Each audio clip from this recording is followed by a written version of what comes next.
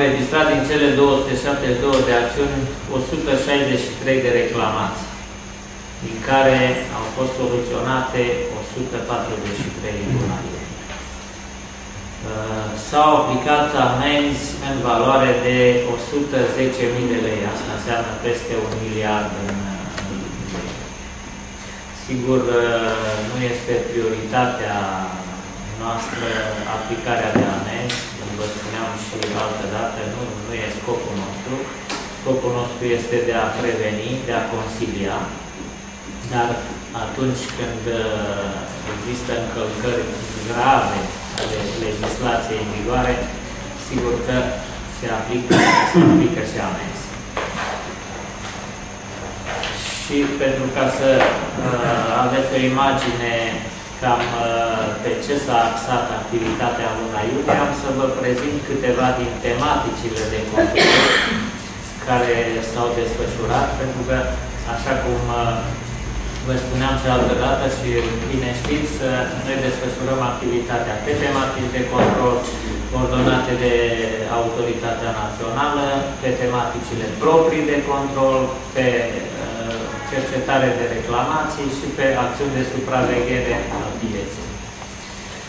Una dintre tematicile care uh, a fost uh, finalizată în luna iunie se referă la comercializarea, etichetarea și uh, prezentarea suplimentelor alimentare. Ați auzit, cred că și din presă, au fost multe probleme legate de aceste suplimente alimentare care au fost uh, prezentate sub uh, alte forme decât uh, ce erau ca suplimente alimentare.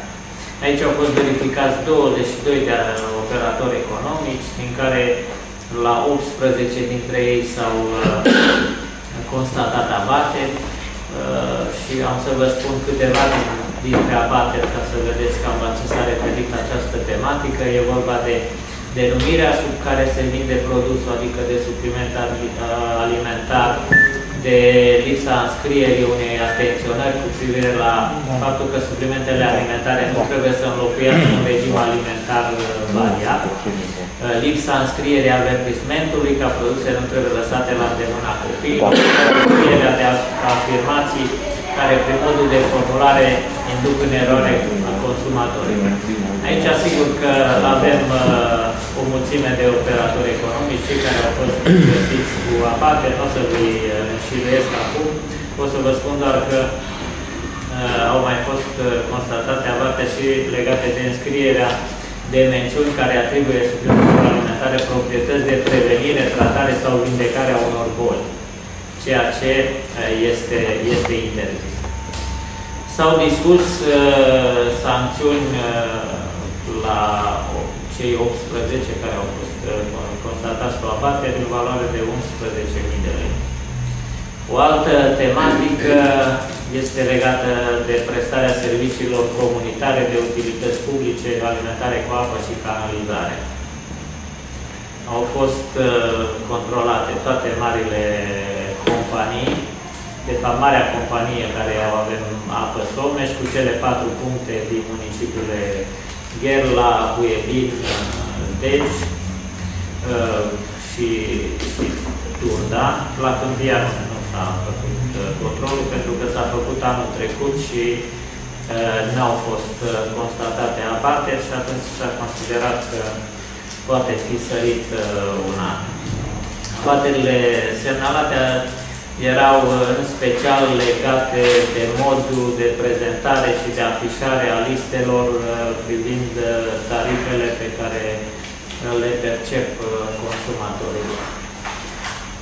Uh, s-a uh, desfășurat de asemenea o acțiune mai vastă privind etichetarea, comercializarea preparatelor din carne. Aici știți că în perioada aceasta nu numai noi și alte instituții și DSV-ul și DSV-ul au desfășurat acțiuni pe această problemă fiind perioada de vare și uh, produsele fiind perisabile. Aici au fost verificați 18 operatori economici, în care 17 au fost constatați cu abateri. Uh, au fost uh, oprite temporar de la comercializare produse în valoare de 3.000 de lei. Au fost oprite definitiv de la comercializare produse în valoare de 1.600 de lei. Deci este clar că tematica a fost, uh, a fost binevenită dacă numărul atât de mare din 18 operatori economici, 17 erau cu probleme. Uh, și, sigur, și cantitatea mare de produse care oprite definitiv de la comercializare din uh, diferite motive. Și am să vă enumăr câteva. Uh, comercializare produse cu data durabilității minimale depășită, neîncadrarea produselor în parametri calitative în curs de normele legislative, s-au prelevat probe în această perioadă de la produsele care erau uh, suspicionate ca neconforme, au fost trimise la laboratoarele LAREX și, din păcate, din uh, trei uh, probe prelevate, două au fost neconforme. Asta însemnând că unele aveau cantitatea de apă pe care au conținut mult depășită față de normal sau altele având procesul de grăsime mai mare decât uh, cel admis în, în produs. Apoi n-au fost respectate condiții de depozitare, comercializare, uh, o serie de abateri uh, de informare privind etichetarea și aici înscriere eronată sau incompletă a datei durabilității minimale, al ingredientelor și așa mai departe, o serie de, de abateri. În 1974, numărul populației mondiale ajunsese la 4 miliarde de locuitori. Peste 13 ani, în 11 iulie 1987, populația lumii a atins cifra de 5 miliarde de locuitori. Scopul marcării Zilei Mondiale a Populației este tocmai atragerea atenției asupra urgenței și importanței problemelor legate de populație, printre care amintim calitatea alimentelor consumate de populație care în ultimul timp a devenit tot mai slabă se încearcă înlocuirea chimicalelor cancerigene periculoase pentru sănătate, utilizate în conservarea alimentelor cu conservante ecologice. Discriminarea femeilor, doar între 5 și 10% dintre acestea ocupă funcții politice de conducere, două treimi dintre populația analfabetă a lumii sunt femei, violența împotriva femeii a atins cote alarmante sau multe fete nu au acces la educație. Creșterea populației creează o stare de disconfort în privința asigurării resurselor generațiilor care vor veni. În unele țări, sporul demografic este mult mai mare decât posibilitățile de satisfacere a nevoilor de trai, iar în alte zone e nevoie de populație care să umple golurile. Statistic vorbind, situația generală a evoluției populației la nivel de macomon arată creștere necontenită a acestea iar previziunile publicate la ONU în anul 1999 arată că în anul 2050 populația va atinge 8,9 miliarde de locuitori. Deja țările sărace se confruntă cu foame. Mai multe țări sunt vulnerabile în fața creșterii prețurilor în funcție de gradul ridicat de subnutriție cronică a locuitorilor mai mult de 30% și de dependență pentru importurile de produse petroliere, 100% în cea mai mare parte a cazurilor și de cereale.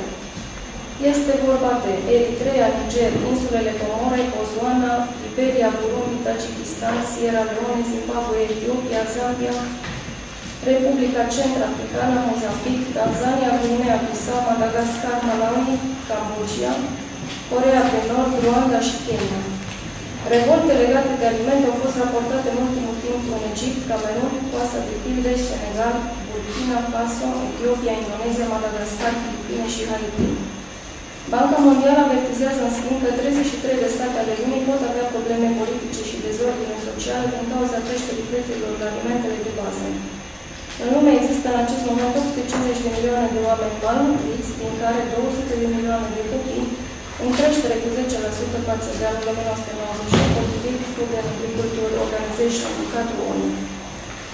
Organizația Națiunilor Unite susține că nu mai dispune de resurse financiare suficiente pentru a lupta împotriva foametei mondiale din cauza creșterii dramatice a prețurilor mărfurilor, ceea ce va duce la o nouă față a tarifului. Domnul primar știe că am fost chiar uh, un an, doi înainte la Cluj, la ședința de Consiliu Consultativ la județ, în care chiar era pusă problema, uh, deci am pus-o noi de la Curții, uh, de felul cum se instalează aceste microcentrale, se instalează de diferite persoane care îți lucrat pe la gaz, acum unde lucrat și la un moment dat nu le face nici punerea în funcțiune cum trebuia să fie legală și tot.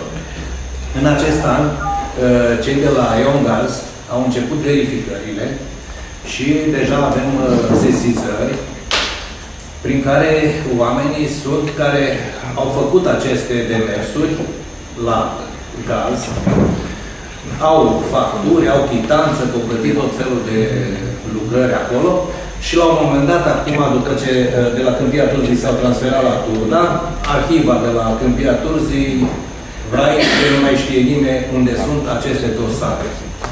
Și îi pune pe oameni acum să-și facă din nou dosarele și să cheltuie alți bani, pentru că cei care erau atunci uh, nu au dat importanță, cu toate că ei lucrau în domeniul respectiv, însă nu au vrut să înțeleagă că acolo unde se face o instalație trebuie să aibă și documentele uh, necesare. Și acum chiar avem un caz în care are toate facturile, chitanțele și dosarul nu se găsește nicăieri, nu știe nimeni, nu, poate, nu mai poate să răspundă nimeni. Cei care au lucrat atunci la eu în gaz, uh, ori ieșit în pensie, s-au dus și în momentul ăsta oamenii trebuie să-și facă din nou astea. De acum o să fie, să fie și mai multe cazuri, pentru că atenționările noastre nu au fost luate în, în serios, și uh, pe măsură ce se vor face verificări, vor apare noi și noi cazuri de, de încălcare a regulilor și a legii.